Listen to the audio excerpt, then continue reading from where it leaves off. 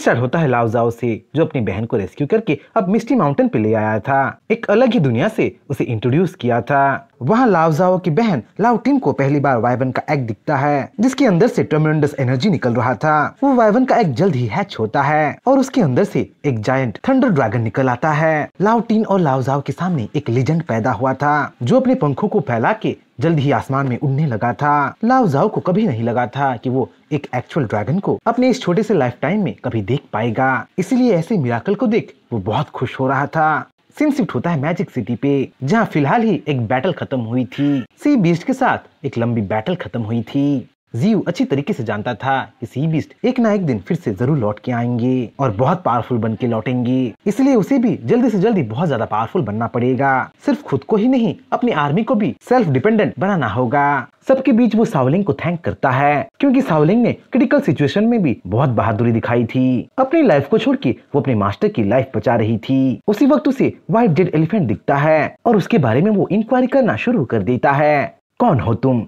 तुम मेरी मदद क्यों कर रहे थे? मेरी तो छोड़ो, तुम तो इंसानों की भी मदद कर रहे थे। तुम्हें भला ये सब करके क्या मिलेगा? तुम्हारा असली मकसद क्या है? बोल के जियो इंक्वायरी पे इंक्वायरी करने लगता है, जिसपे व्हाइट जेल एलिफेंट अपना इंट्रोडक्शन देता है। व्हाइट जेल एलिफेंट बताता है कि वो सेलेस्टियन माउंटेन से है। वो गॉड्स का एक डिसेंडेंट है, जो कि डार्कनेस से लड़ता है। डार्कनेस का नाम सुनते ही जियो के मन में उत्सुकता बढ़ने लगता है। जियो डार्कनेस के बारे में ज़्यादा से ज़्यादा जानना चाहता था, क्योंकि इन्फॉर्मेशन ही पावर था। इसीलिए डार्कनेस के बारे में व्हाइट जेल एलिफेंट जियो को बताने लगता है। व्हाइट जेल एलिफेंट बताता है की डार्कनेस कोई ज़िंदा चीज़ नहीं है। वो एक तरीके का एनर्जी है, जिसे हर कोई किसी न किसी तरीके से ज़रूर यूज़ किया है। व्हाइट जेल एलिफेंट जीव को बताता है कि वो तो डार्कनेस से ज़्यादा वाकिफ होगा, क्योंकि उसका क्रोध उसी एनर्जी की वजह से हुआ है। व्हाइट जेल एलिफेंट की बातें सुन जीव समझ जाता है कि डार्कनेस और कुछ नहीं, बल्कि स्पिरिचुअल एनर्जी है। पर ऐसा आंसर पा के जीव और भी ज़्यादा कंफ्यूज हो जाता है। तब व्हाइट जेल एलिफेंट जीव को क्लैरिफाई करता है। व्हाइट जेल एलिफेंट जीव को समझाता है की उनका प्लानट हर वक्त स्पिरिचुअल एनर्जी इमिट करता रहता है। उसी स्पिरिचुअल एनर्जी को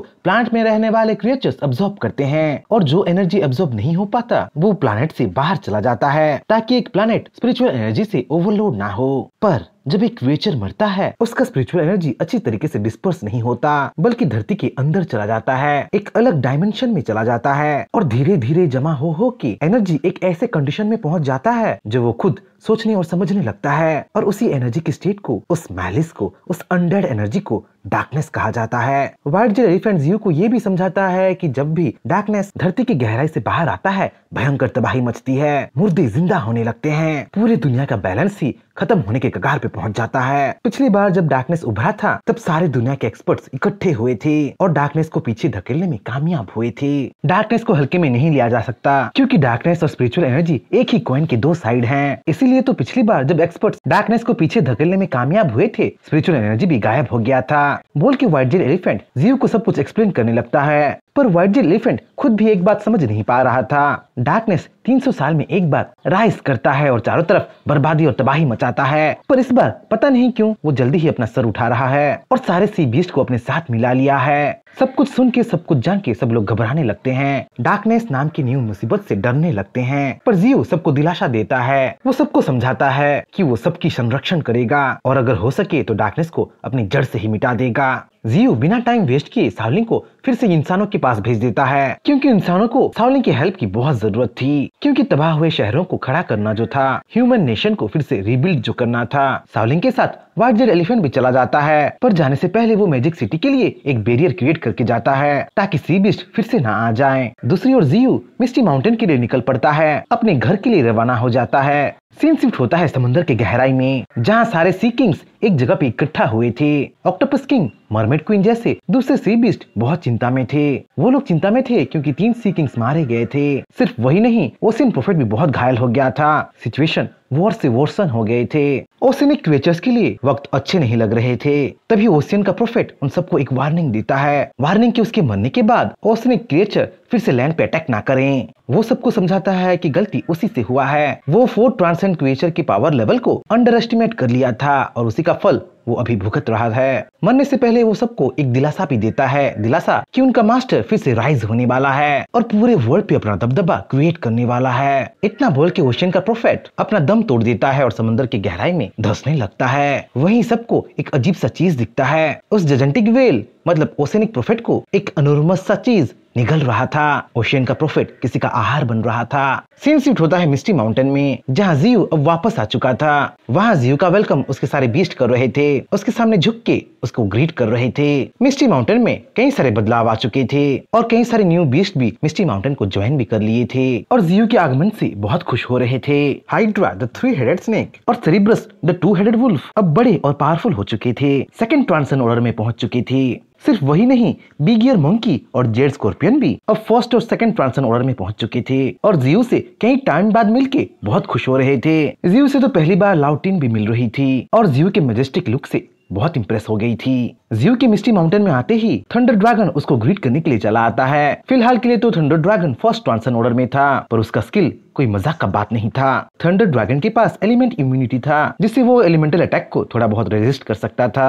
थंडर ड्रैगन के पास तो ड्रैगन बिट जैसा अनोखा स्किल भी था, जिससे वो थंडर और लाइटनिंग ब्रीथ कर सकता था। थंडर ड्रैगन के स्किल्स देख जीव बहुत इंप्रेस होता है, इसलिए वो उसे थंडर एलिमेंटल स्पिरिचुअल ग्रास देता है। आखिरकार तुम अंडे से निकल ही गए। तुम्हारा काइंड हज़ारों सालों तक ज़िंदा रहता है। अगर सब कुछ ठीक रहा तो तुम ऐसे ही इवोल्व होते रहोगे और पावरफुल बन के इस वर्ल्ड को डोमिनेट करोगे। फ़िलहाल के लिए तुम स्पिरिचुअल ग्रास को ऑब्जॉर्व कर लो। अपने आप को धीरे धीरे स्ट्रॉन्गर बनाओ। बोल के जीव थंडर ड्रैगन को एनकरेज करता है और उसे स्ट्रॉन्गर बनाने के लिए ट्रेन करने को भेज देता है। जियो को वेलकम करने के लिए वहाँ किंगजाओ भी आ गया था, जो अभी फ्रीली सैंड को मैनिपुलेट कर पा रहा था। जियो किंगजाओ को उसका नेक्स्ट कमांड दे देता है।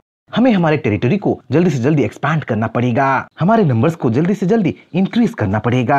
किंगजाओ मैं अपनी धुंध को चारों तरफ़ फैलाने वाला हूँ। इसी बीच, अगर धुंध के अंदर कोई ह्यूमन सिटी आ जाए तो उसे हैंडल करने का जिम्मा मैं तुम्हें सौंपता हूँ। याद रखो, तुम्हें ह्यूमंस को सबड्यू करना है। और अगर कोई विरोध करे तो उन्हें वहाँ से खदेड़ देना है। बेमतलब किसी को मत मारना। हाँ हज़ारों को डराने के लिए, उनको समझाने के लिए तुम एक को ज़रूर मार सकते हो। बोल के जियो किंग जाओ को उसका इंस्ट्रक्शन देने लगता है। जियो वहीं पे नहीं रुकता। वो तो डिवाइन फ्लावर को भी उसका नेक्स्ट कमांड देने लगता है। डिवाइन फ्लावर को सेक्रीफाइसल अल्टर में कोटा बढ़ाना था। मतलब ज़्यादा से ज़्यादा सेक्रीफाइस लेना था और सुपर ह्यूमंस को मिस्टी माउंटेन में ज्वाइन करवाना था। डिवाइन फ्लावर तो जीव का कमांड पाके कंफ्यूज हो जाती है। डिवाइन फ्लावर के लिए जीव बहुत पावरफुल था। इसलिए वो समझ नहीं पा रही थी कि जीव इंसानों को इतना ज़्यादा मिस्टी माउंटेन में क्यों ऐड करवा रहा है। अंदर ही अंदर डिवाइन फ्लावर को भी डाउट होने लगी थी। डाउट की कोई बहुत बड़ा और पावरफुल एनिमी राइज करने वाला है। और इसी के लिए जीव इतना प्रिपरेशन कर रहा है। और उसका शक सही भी था। जीव डार्कनेस से लड़ने के लिए अंडेड आर्मी से लड़ने के लिए प्रिपरेशन कर रहा था। और इस बार वो अकेला लड़ना नहीं चाहता था। हर एक रेस से वो मदद पाना चाहता था।